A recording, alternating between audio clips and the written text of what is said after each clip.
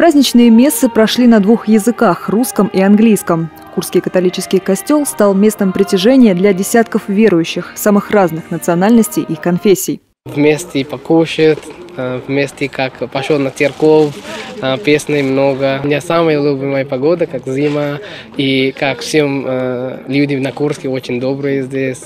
Я отношусь к францисканскому ордену, тем более история создания рождественских вертепов – это идея святого Франциска в свое время. Он подумал о том, что людям надо не просто рассказать о тех библейских событиях, но и показать их.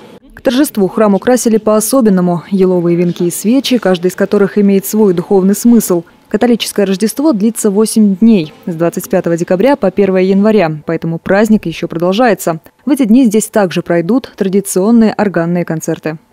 Пусть младенец Иисус наполнит ваши сердца радостью, что вы, вы возвещали Его благую весть чтобы вы несли